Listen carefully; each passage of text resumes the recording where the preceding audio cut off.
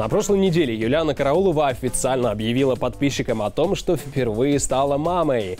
У певицы и Андрея Черного родился сын. О долгожданном пополнении знаменитость сообщила только спустя неделю, а в день настоящих родов опубликовала просто снимок себя и еще беременной. Среди звездных мам это частая практика.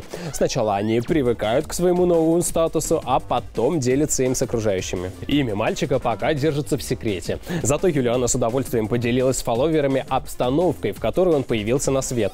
Роды прошли в элитной московской клинике, и все было не так страшно, как Юлиана себе представляла. Нет, точно я не я же мать.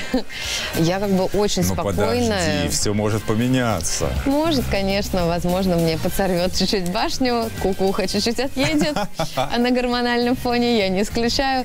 Но пока я реально очень спокойная, у меня нет никакого волнения. Сейчас Юлиана с малышом уже дома, отлично проводит время, гуляет с подругами Натальей Подольской и хвастается перед подписчиками новой коляской.